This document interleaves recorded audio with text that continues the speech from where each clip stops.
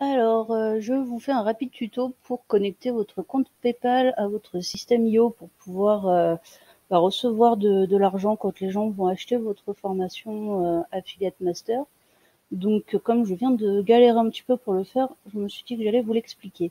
Donc là, vous êtes sur votre système IO, sur le tableau de bord. Vous allez aller cliquer ici sur votre image, euh, passerelle de paiement.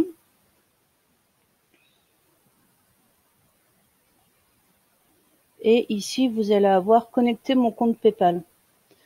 Donc,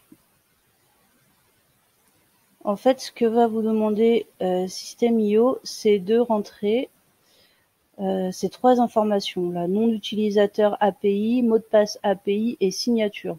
Donc moi je trouvais bien les deux derniers, les deux premiers mais pas le dernier. Donc je vais vous montrer où aller chercher ces trois informations sur PayPal.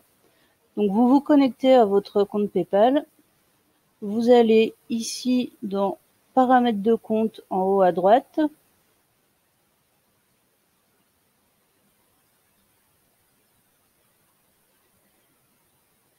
Et vous allez ici choisir accès API et mettre à jour.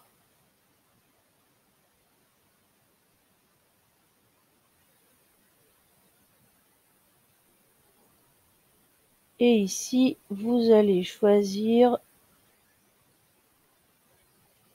la intégration API NVP SOAP ancienne version, gérer les identifiants API.